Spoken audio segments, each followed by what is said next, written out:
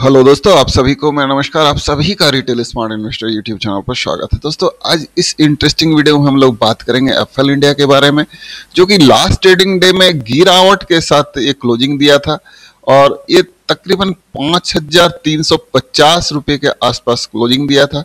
और इस स्टॉक के 52 वीक हाई की बात करें तो ये छः हज़ार तीन सौ के आसपास देखने को मिल रहा है।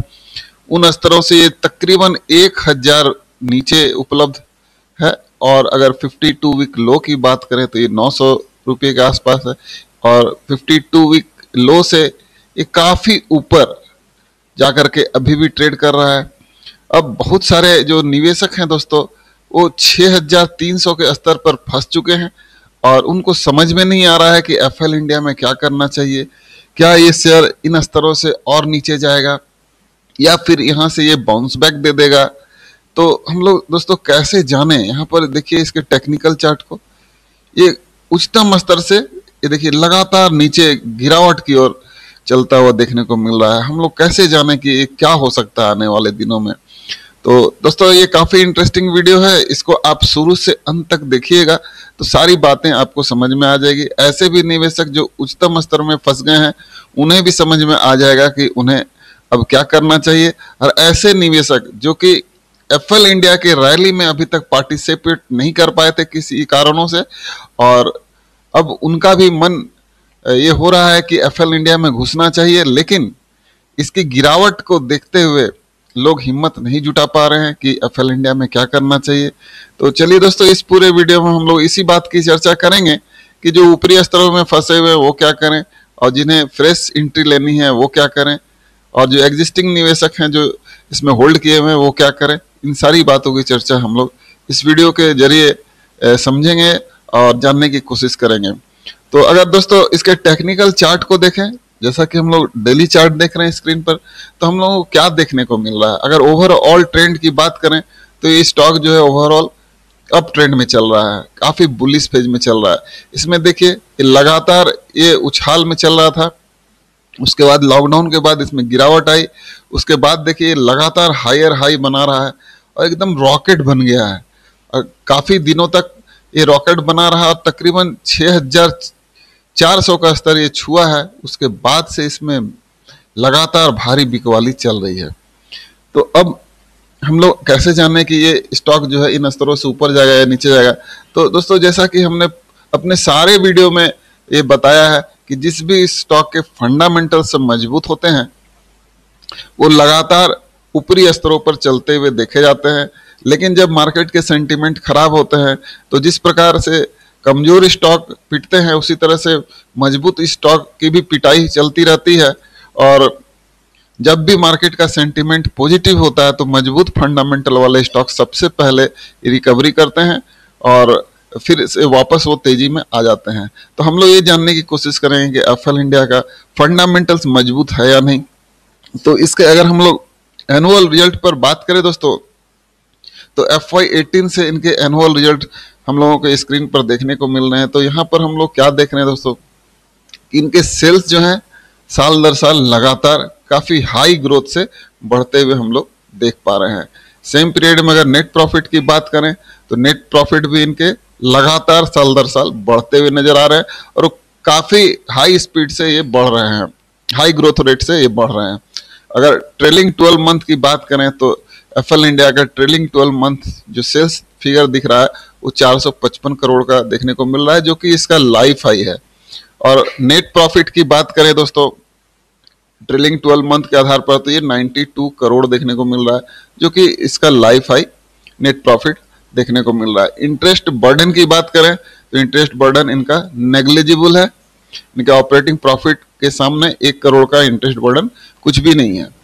तो यहाँ से हम लोग देख पा रहे हैं कि इनके फंडामेंटल्स अच्छे देखने को मिल रहे हैं। अब हम लोग ये भी चेक कर लेते हैं कि इनके जब इतने अच्छे बिज़नेस चल रहे हैं तो इनके रिज़र्व में पैसे बढ़ रहे हैं या नहीं?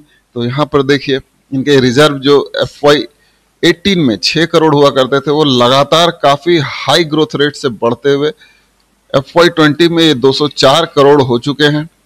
और सितंबर 2020 में तो ये 246 करोड़ हो चुका है। लाइफ हाई इनका रिज़र्व देखने को मिल रहा है।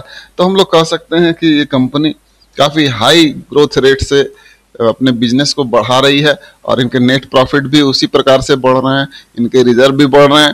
तो हम लोग कह सकते हैं कि एफएल इंडिया के फंडामेंटल्स काफ़ी अच्छे हैं। तो दोस्तों, अब हम लोग वापस चार्ट पर आते हैं। और ये समझने की कोशिश करते हैं कि अब ये स्टॉक यहाँ से ऊपर जाएगा या नीचे जाएगा तो इसको कैसे जाने? तो इसके लिए हम लोगों को इसके जो रिसेंट क्वार्टर के रिज़ल्ट आए हैं, उसको चेक करना पड़ेगा कि रिसेंटली क्वार्टरली रिज़ल्ट के पैटर्न इसके कैसे देखने को मिल रहे हैं। तो सबसे पहले क्वार्टर थ्री के रिज़ल्ट का मिलान करें। तो यहाँ पर देखिए, ये दिसंबर क्वार्टर यानी क्वार्टर थ्री में ये 150 करोड़ का सेल्स रिपोर्ट की थी। जो कि सेम पीरियड प्रीवियस ईयर में ये 94 करोड़ देखने को मिला था। तो इनके ईयर ऑन ईयर बेसिस में क्वार्टरली सेल्स फिगर में काफ़ी हाई ग्रोथ देखने को मिल रहा है। वहीं पर अगर सेम पीरियड में नेट प्रॉफिट की बात करें तो ये क्वार्टर थ्री में 31 करोड़ का नेट प्रॉफिट रिपोर्ट की थी, जो कि लास्ट ईयर सेम पीरियड में 21 करोड़ देखने को मिल रहा था। तो यहाँ पर इनके नेट प्रॉफिट में भी हम लोगों को काफ़ी हाई ग्रोथ देखने को मिला है।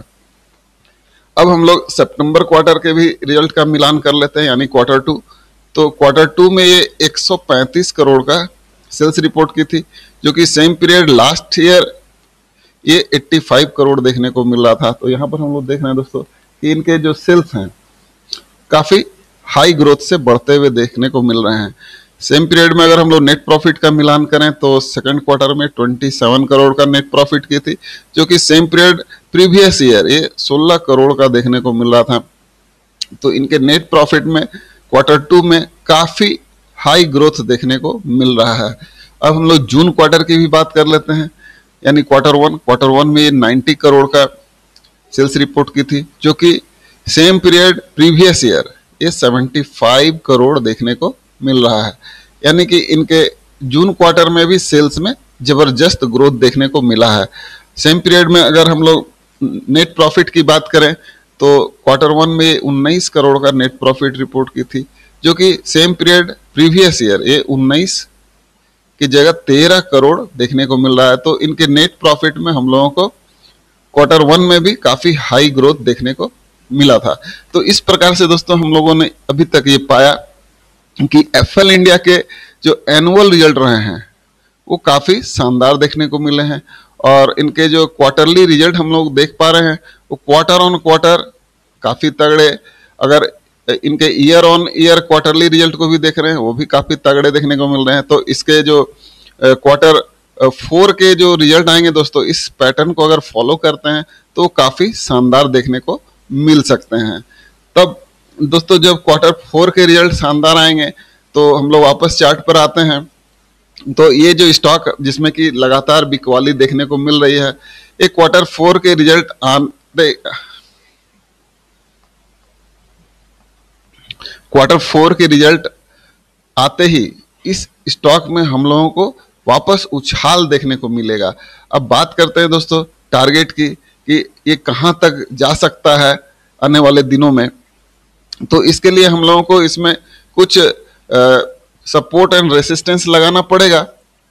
हम लोगों ने सपोर्ट एंड रेसिस्टेंस लगा लिया है। अब देखिए, अब इसमें हम लोग टारगेट की बात करते हैं कि किन स्तरों से, किन स्तरों तक ये स्टॉक आने वाले दिनों में जा सकता है। तो जिस प्रकार की बिकवाली देखने को मिल रही है इस स्टॉक में दोस्तों तो जो स्ट्रांग सपोर्ट देखने को मिलेगा, वो तकरीबन इक्यावन सौ के आसपास देखने को मिल सकता है इस स्टॉक में।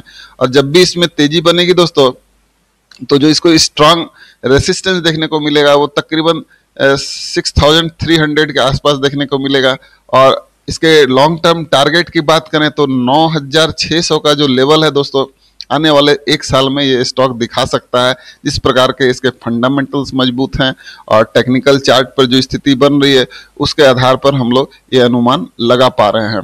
अब दोस्तों हम लोगों को इंतज़ार करना पड़ेगा कि कब इसके क्वार्टर फोर के नतीजे डिक्लेयर होते हैं और इस स्टॉक में वापस तेज़ी होती है। तब तक हम लोगों को इसके जो प्राइस मूवमेंट है, उसको वॉच करना पड़ेगा। और जिन भी निवेशक जो कि ऊपरी स्तरों में फंसे हुए हैं, मेरी राय अगर माने तो उन्हें होल्ड करना चाहिए। और जो निवेशक इसमें अभी तक एंट्री नहीं ले पाए हैं, वो इन स्तरों से एंट्री ले सकते हैं। और जिनके पास शेयर अभी पोर्टफोलियो में पड़ा हुआ है, वो अगर ऐड करना चाहें तो वो ऐड भी कर सकते हैं इन स्तरों में। लेकिन मेरे अनुसार इस स्टॉक में आने वाले दिनों में तेज़ी वापस लौटते हुए नज़र आ सकती है इसके रिज़ल्ट के आधार पर। तो हम लोगों को इसके रिज़ल्ट पर काफ़ी ध्यान रखना पड़ेगा। तो उम्मीद है दोस्तों, आपको मेरा ये वीडियो काफ़ी इंटरेस्टिंग लगा होगा। और अगर आप की भी राय एफ़ इंडिया के बारे में कुछ है तो आप मेरे कमेंट बॉक्स में जाकर ज़रूर लिखें। और आप मेरे नेक्स्ट वीडियो का इंतज़ार करेंगे दोस्तों, तब तक के लिए आप सभी को मैं नमस्कार।